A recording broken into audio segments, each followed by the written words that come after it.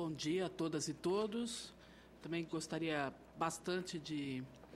agradecer e saudar essa iniciativa da senadora Ana Rita, da Comissão de Direitos Humanos e Legislação Participativa do Senado, que é um, uma importante parceira da Ouvidoria Nacional de Direitos Humanos, né? sempre nos, nos pautando e caminhando denúncias e violações de direitos humanos. E, e dizer que é, a coragem né, do, do André em, em, trazer essas informações é bastante salutar também para a valorização e fortalecimento da democracia brasileira. Né, que, como frisado pela presidenta Dilma, né, quando o Brasil foi alvo de espionagem do governo americano e do governo canadense, é, a espionagem é sim uma violação de direitos humanos e o Brasil repudia esse tipo de atitude. E tenho certeza que, se comprovadas as, as denúncias, né, como disse o André, é, terá do governo brasileiro todo o apoio é, nas, nos desdobramentos que a própria Procuradoria da República, do Ministério Público Federal, vai, vai trazer e vai encaminhar. Nós recebemos essa denúncia é, no dia 31 de maio desse ano, né, pela Rede Justiça nos Trilhos e o movimento é, dos trabalhadores e trabalhadoras rurais sem terra e imediatamente é, analisamos a, a, denúncia, entendemos a seriedade dos, dos fatos e encaminhamos ao Ministério Público Federal. A princípio, a, a Procuradoria Federal de Direito do Cidadão, né, com, na pessoa do Dr. Aurélio Rios, e, e que analisou e remeteu o, a denúncia ao Ministério Público Federal do Rio de Janeiro, também na pessoa do Dr. Carlos. Né? Em contato contínuo com o Dr. Carlos, e até por entender que a, a o doutor Carlos né, representa é, a parte criminal, é, imediatamente reavaliamos a denúncia e também provocamos é, imediatamente um encaminhamento à Polícia Federal também para que pudesse acompanhar as, as denúncias. Né? A partir disso, recebemos outras provocações de órgãos que também foram provocados né, por essas duas organizações no dia 17 de julho e 23 de setembro, é, que também é, nos reencaminharam, inclusive o gabinete pessoal da presidenta é, da República, que também é, solicitou à Secretaria de Direitos Humanos apuração e acompanhamento é, desses dados. É, quando analisado todos esses dados, nós observamos também que há a dentro né, desse contexto de denúncia, várias outras denúncias e, e por isso desmembramos elas é, no sentido de, de categorizar, como nós falamos na, na ouvidoria, as, viola, as violações, ainda que o, o, suspeito né, seria a empresa Vale. Isso é importante para que a gente possa né, separar o que é espionagem, separar do que é, como bem disse aqui o nosso representante da Justiça Global, as outras violações. Né? E, nesse sentido, também solicitamos a apuração de outros órgãos. É, por fim, é só dizer né, que a ouvidoria, ela atua pelo é balizada né, pelo decreto 7.256 é, de 2010 é, que dá essa atribuição de análise, receber, analisar e encaminhar as denúncias né. nós estamos em constante monitoramento conversamos com o Dr. Carlos na semana passada o processo corre em, é, né, em sigilo ele é sigiloso é, nesse sentido, ainda que a ouvidoria, por esse mesmo decreto, tenha a prerrogativa é, de solicitar informações, ainda que sigilosas, entendemos que, é, como colocou o doutor Carlos, é, que essas informações nos retornarão enquanto monitoramento após né, finalizado o procedimento, para que a, as os acompanhamentos corram né, no, no, no, devido processo legal, sem alguma interferência, sem possibilidade alguma é, de outra, outra violação.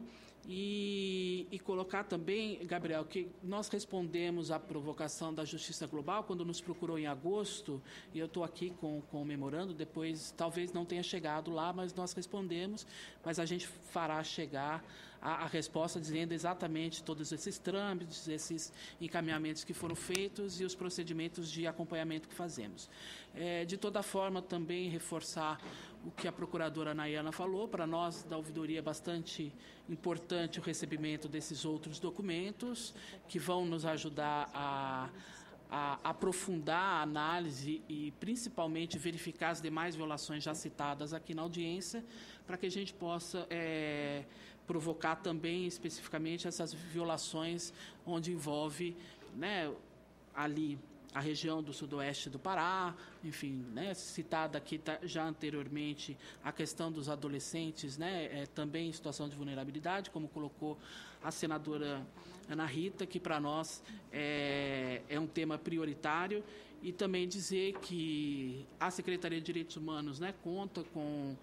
o, os programas de, de proteção né, aos defensores de direitos humanos, a vítimas e testemunhas ameaçadas de morte e a crianças e adolescentes ameaçados. É, hoje, o programa Defensores de Direitos Humanos, salvo engano, está com mais de 300 pessoas incluídas né, em todo o Brasil. É, fazemos esse monitoramento, esse acompanhamento. A ouvidoria hoje recebe, né, seja pelos seus canais tradicionais ou pelo Disque Direitos Humanos, o Disque 100, é, cerca de 1.200 denúncias por dia de violações de direitos humanos, o que mostra que nós temos ainda muito que avançar no país e que esses espaços de audiência e essa, as comissões de direitos humanos é, aqui no Senado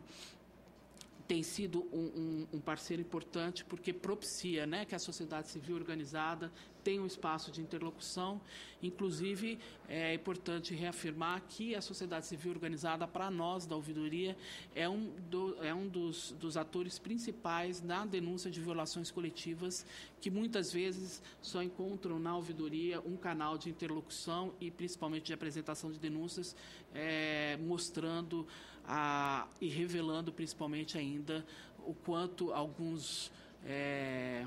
espaços né, e principalmente alguns alguns cantos desse Brasil grande ainda tem muita violação. Então, é, nos colocamos também à disposição é, de acolher, né, enfim, essas informações adjuntas e dizer que é, estamos é, acompanhando é, especificamente esse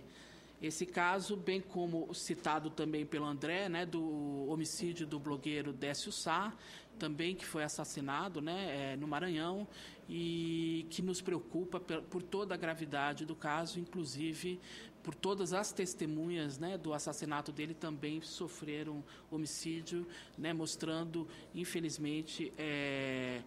que as violações de direitos humanos elas se recrudescem à medida que é,